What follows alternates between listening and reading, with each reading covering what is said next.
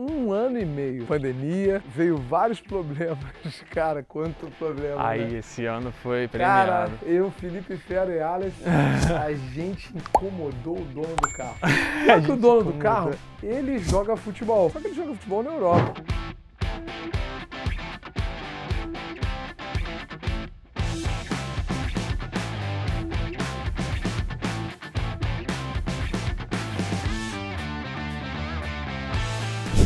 Não era toda hora que a gente conseguia falar com ele. Então, assim, uma decisão às vezes demorava um mês para ser tomada. Mas tá aí. Final lindo. A Eleonor dos Mavericks.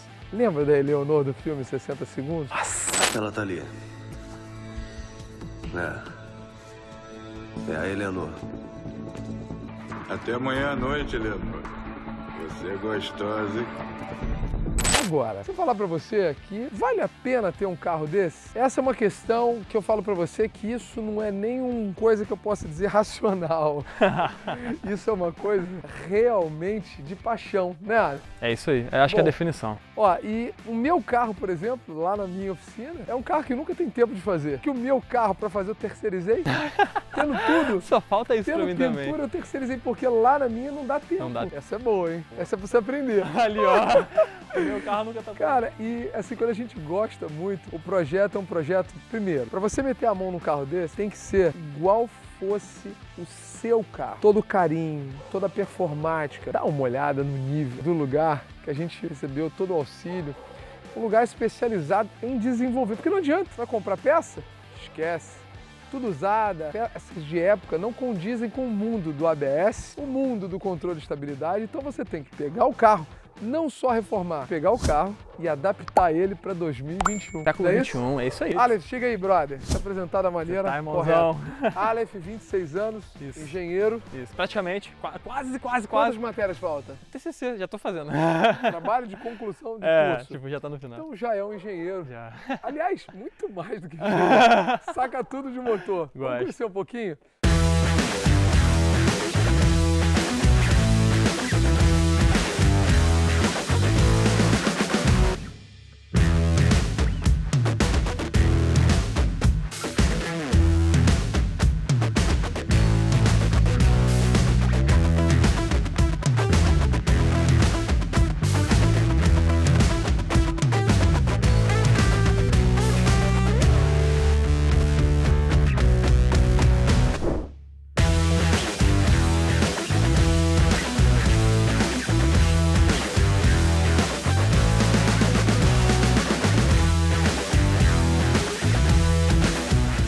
Cara, a gente tem algumas joias aqui que roubam a cena. Esse Opala, praticamente mais de mil cavalos, de repente, né? Gente- tudo der certo, é se isso tudo aí. der certo, mais de mil Projetado cavalos. para. Com o Blauer pra cima, tá sem ele ali, porque deve estar fazendo o quê? Montando injeção Injeção eletrônica. eletrônica. Aham. Esse carro era carburado naquela época. Era, né? Agora é o upgrade Agora- final. Upgrade Meu final. irmão, quando eu era moleque, cara, quando eu era moleque, eu tinha um Voyage em Los Angeles. Eu ia namorar, né? Ia lá com as namoradas, aí era o único que chegava de carro. Porque, cara, eu vou contar uma coisa feia aqui. Tá Com bem. 15 anos eu já andava de carro. Era outra época, pelo amor de Deus, não faça isso.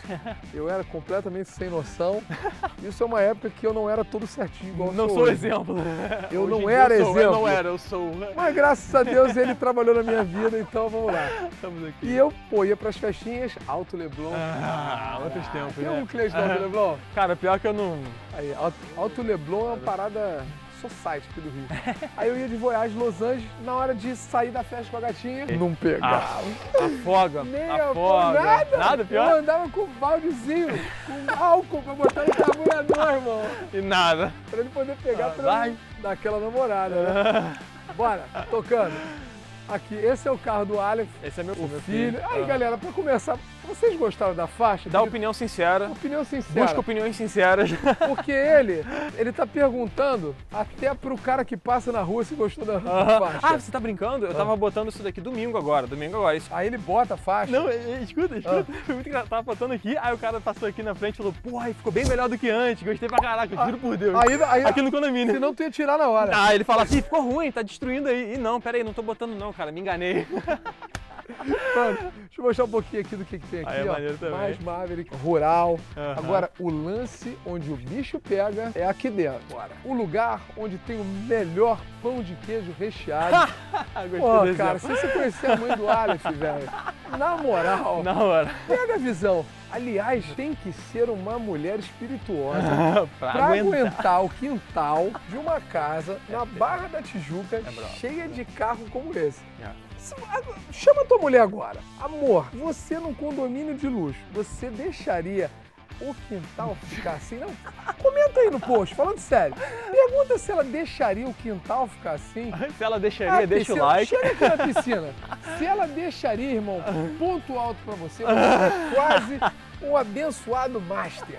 Olha só, aí, tá rolando até o ladrilho. Tá, Pô, é, só consertando, fal- Só faltou querer botar em mosaico um Maverick, né? Aí seria Te pega né? assim, bota aqui. Mano, agora de tudo que tem aqui, meu coração bate forte há um ano e meio, desde que eu vi esse carro sendo Ah, sim, pronto. é Você complicado. ficando pronto aos poucos. Tu acompanhou, legal. Acompanhei. O é barato, esse carro, esse shape que você vê lateral, ó, Tudo esse diferente. shape é tudo feito à mão. Tudo diferente. Isso não existe, esse offset, nada disso é real, é, é- é de série, é tudo feito à mão. Sei. Olha a frente desse carro. Cara, mostra aquela foto que tiraram. Pode mostrar no seu Claro celular? que. Olha Essa esse foto shape, irmão. Cara, eu vou te falar, um ano e meio de tempo gastando. Olha essa foto. Olha essa foto, Você cara. jura que é montagem de computador. Olha ah, isso. Alô, Robert aí, ó. Caraca, velho.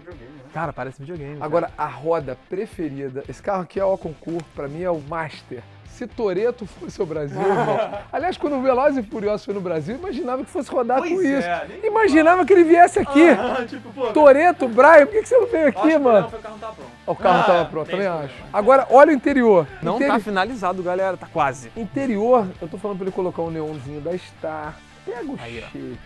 Tem carbono suficiente, galera? Deixa eu larga o dedo do like se tiver. Esquece, fiara, esquece.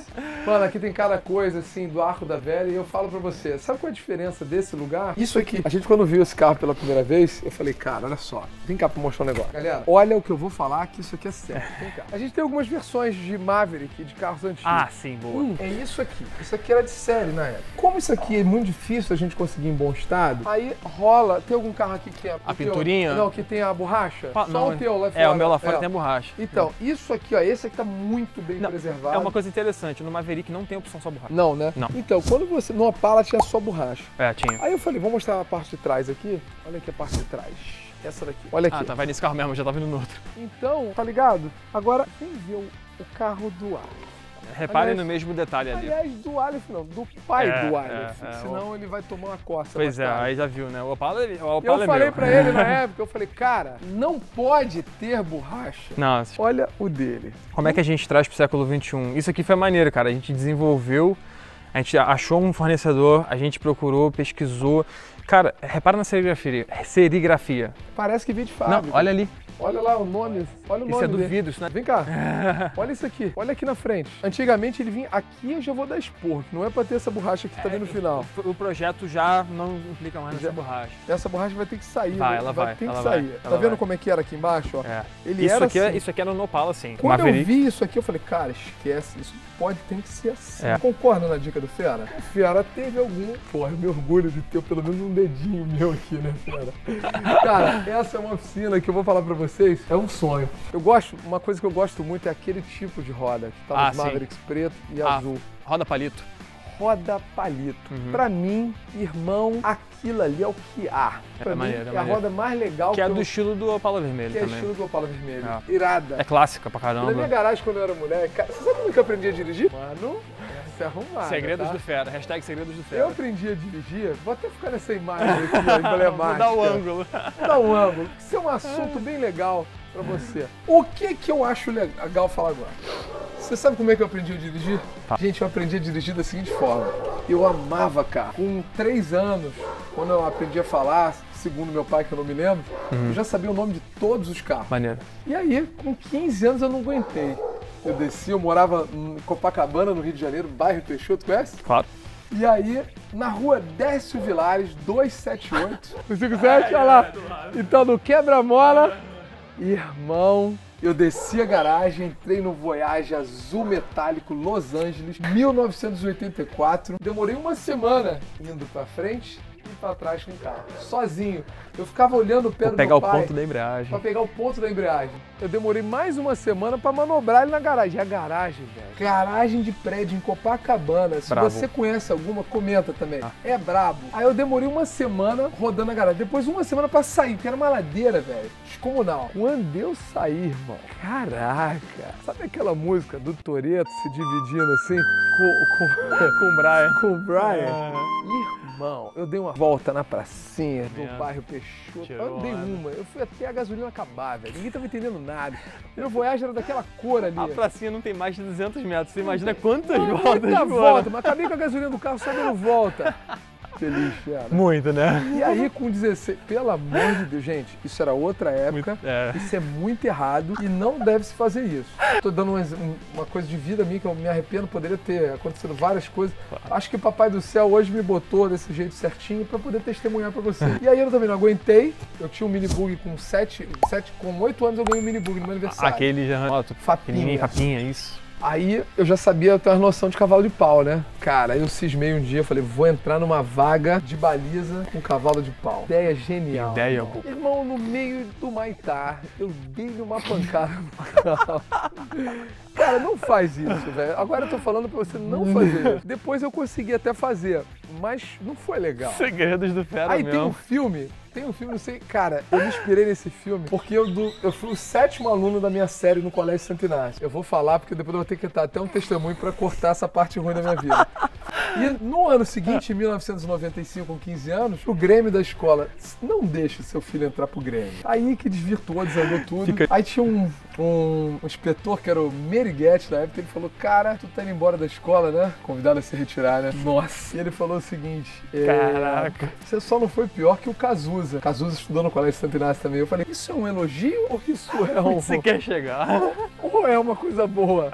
Aí interprete do jeito que você quiser. Cara, colhi muitos maus frutos, fui morar na rua, papai morreu, perdeu tudo. Mas já era papai do céu forjando o caráter de quem eu sou hoje, sou todo certinho, chato, metódico, não gosto de coisa errada. Eu educo meu filho hoje pra não passar por isso. Eu não tive essa educação que eu dou pro meu filho hoje. Top do bem. Top esse do bem. Vocês vão conhecer um pouquinho mais do Felipe ao longo dos stories lá na minha rede social. Mas é uma fase negra, mas é, mostra toda a desenvoltura de respirar o que isso aqui representa. Então, assim, eu me sinto aqui dentro desse universo, que é um universo extinto, o universo do carburador, né? É mesmo, É um universo é extinto. E isso aqui, cara, representa pra mim, assim, muita coisa. É, é mesmo. É uma época que pra mim não volta. E pra um cara de 26 anos mexer com isso é maneiro. Eu queria muito uma parada assim totalmente diferente, sabe? Então, eu nasci com isso, né? É o que a gente tava conversando. Então, assim, a paixão tá aqui, sabe? Tudo que a gente faz, a gente faz pra gente. É o que você falou no início do vídeo, perfeita definição.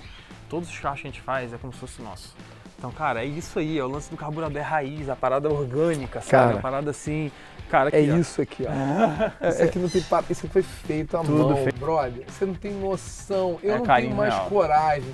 Aí, quanto custa? Não sei. Às vezes, assim, pergunta um negócio pra ele, quanto é que é? Ele, formular. Difícil de falar. Porque é difícil, cara. É. Porque é o seguinte, sabe qual é a hora? Até que hora você já trabalhou aqui?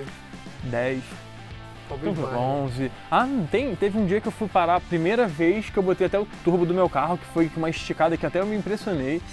A meu objetivo era botar o turbo inteiro do carro em um dia. Eu comecei 7, 8 horas da manhã, 7 horas da manhã, acabei 3 horas da manhã. Sim, quase 24 horas. Boa, é que a oficina é dentro de casa. É, não, eu não peguei trânsito. Mas acredite se quiser, eu tive que, um amigo meu me ajudou, eu tive que sair no final, eu tive que dar uma saída pra levar ele em casa. Ah, Ele não contava. Uma coisa que eu fugi, cara, e nessa garagem, eu esqueci, na garagem que eu aprendi a dirigir, tinha uns carros emblemáticos que ninguém conhecia. Tinha um piloto de Fórmula, que era um europeu, um italiano, e ele tinha um Range Rover Vogue. Isso em 1984. Que isso, cara? 84 minto, 1994. Assim. Um Vogue, cara. Achei que o Só, Vogue fosse acho que moderno. no Rio de Janeiro só tinha ele. E tinha um carro daquele ali. Ah, e claro. tinha um Camaro, Ah, aquelas claro versões. que tinha. As primeiras versões. Sim, o Cara, Gen 1, primeira geração. e tinha um desse azul. Aham. Então assim, São cara, navio. vamos lá, chega aí. Isso é um navio. Tá aqui hoje, representa assim uma, uma parada muito nostálgica da, da minha infância. Esse era um carro nacional. É. Cara, ele tá sem banco Tá, aqui. não, a gente tá finalizando o interior dele. Fera, dá uma king size aqui, ó. Dá, quem sai, dá pra ter até uma noção do quão grande cabe olha, a cama. olha isso. Quão grande é esse carro É, por tá- dentro. Pra um de consumo? É, é, esse, esse aqui tá com injeção, galera. Um segredinho é esse carro tem injeção eletrônica. Porque estamos no século XXI. A, a sua garrafinha de álcool, ela era legal lá, mas hoje em dia você só quer pegar o carro e quer andar, né, galera? Não tem Cara, jeito. a então, garrafinha é muito- É, não, é, é o que eu recomendo para você falar, galera, vamos, vamos tentar modernizar de alguma forma para vocês terem paz. Gente, hoje, hoje eu vou. Hoje eu vou. Dessa vez é a primeira vez que eu saio aqui da oficina do Aleph de Maverick. Né? é Tudo bem- verdade, é verdade. Tudo bem que não é meu, né? Da outra vez você chegou, agora você É. tá saindo. Eu cheguei É, só, verdade, mas verdade. que eu tô saindo. Não cheguei com o Maverick, cheguei com o Maverick sem freio, todo regulado com a folga na direção. É, um feriado inteiro. Então assim, não foi tão prazeroso, foi tenso. Hora de voltar, hora de dar um banho. Cara, que massa. Olha isso. Galera, eu Esse, fico muito feliz de verdade. esse é Na especial. verdade, Moleque, tamo junto Irmãozão, tamo muito na junto. oficina dos sonhos.